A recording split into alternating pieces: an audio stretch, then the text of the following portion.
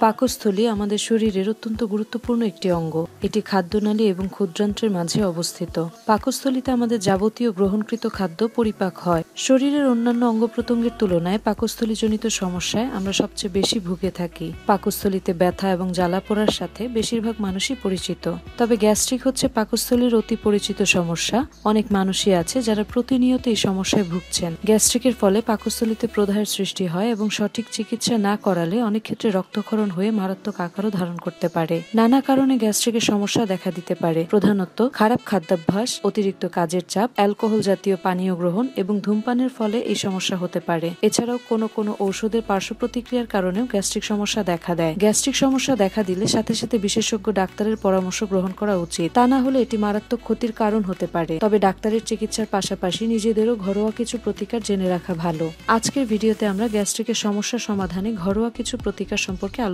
করব। ভাতের মার। এক লিটার পানি ফুটিয়ে তাতে একশো পঞ্চাশ গ্রাম চাল সেদ্ধ করে নিতে হবে। যতক্ষণ না চালগুলো পানিতে ভালোভাবে দ্রবীভূত হয়। ভালো করে নেড়ে প্রয়োজন অনুযায়ী ঘন করে নামিয়ে ফেলতে হবে। এরপর এই চাল সেদ্ধ পানি বা মার ছাকনি দিয়ে ছেঁকে স্বাভাবিক তাপমাত্রায় প্রতিদিন দিনের বেলায় পান করতে হবে। এতে গ্যাস্ট্রিক সমস্যার জন্য খুব ভালো উপকার পাওয়া যায়। আপেল এবং ক্যামোমিল চা, এক ধরনের ওষুধি গাছ থেকে তৈরিকৃত চা। পাঁচশো মিলিলিটার পানিতে একটি ফালি করা আপেল জাল দিতে হবে। আপেল সেদ্ধ হয়ে গেলে এতে এক টেবিল চামচ ক্যামোমিল চা দিয়ে দিতে হবে। কিছুক্ষণ জাল হওয়ার পর চুলা নিভিয়ে মিশ্রণটি স্বাভাবিক তাপমাত্রায় আনতে হবে।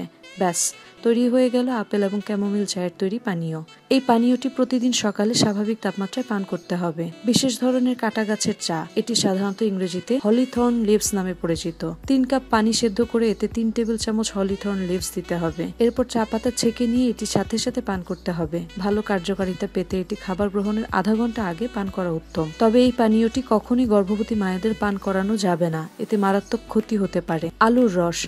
গ্যাস্ট্রিকের ব্যথা এবং জ্বালাপোড়া দূর করতে আলুর রস অনেক কার্যকরী। একটি আলু ভালোভাবে থেতলে রস বের করে নিতে হবে। খাবার গ্রহণের কমপক্ষে আধা ঘণ্টা আগে এক টেবিল চামচ আলুর রস পান করতে হবে। জ্বালাপোড়া দূর করতে টানা এক সপ্তাহ এবং গ্যাস্ট্রিকের সমস্যা দূর করতে টানা দুই সপ্তাহ আলুর রস পান করলে বেশ ভালো ফল পাওয়া যায়। মিষ্টি আলুর মজ্জা। মিষ্টি আলু অতি পরিচিত, সুস্বাদু এবং সহজলভ্য একটি খাবার। এই মিষ্টি আলুর মজ্জা দিয়ে আমরা খুব সহজেই গ্যাস্ট্রিকের সমস্যা দূর করতে পারি। ছয়শো মিলিলিটার বিশুদ্ধ পানিতে একটি মিষ্টি আলু ভালোভাবে ব্লেন্ড করে নিতে হবে।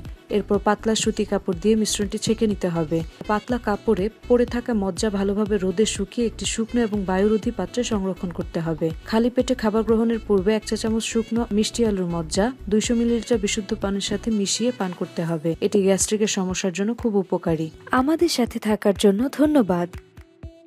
ভিডিওটি ভালো লাগলে বেশি বেশি লাইক এবং শেয়ার করুন। পরবর্তী ভিডিওটি সবার আগে পাওয়ার জন্য সাবস্ক্রাইব করুন এবং এই বিষয়ে আরও কিছু জানার থাকলে অবশ্যই কমেন্ট করে জানাবেন। ধন্যবাদ।